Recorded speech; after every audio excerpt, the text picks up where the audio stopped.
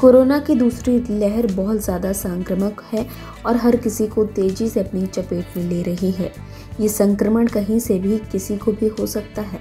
अगर आपके घर का कोई भी एक सदस्य बाहर से आता है तो ज़रा से भी लापरवाही पूरे घर को संक्रमित कर सकती है। आइए आपको बताते हैं कि वो कौन से तरीके हैं जिससे आप अपने घर को कोरोना से दूर रख सकते हैं। जब भी घर से बाहर निकले, मास्क ज़रूर पहने।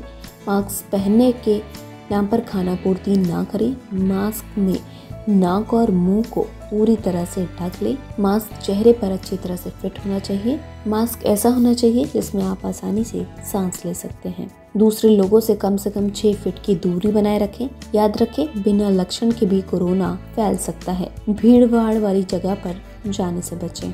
साबुन और पानी से 20 सेकेंड तक अपने हाथ पैर धोएँ।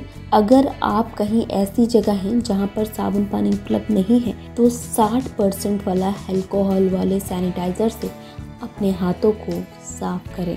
अगर मास्क पहनने के दौरान आपको छींक या खांसी आती है तो मास्क बिल्कुल ना उतारें।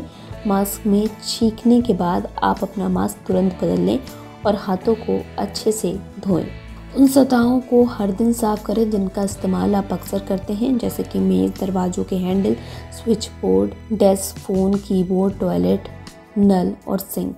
इस वीडियो में फ़िलहाल इतना ही। ऐसी ही तमाम जानकारियों के लिए बोल्ड स्काई को सब्सक्राइब करना ना भूलें।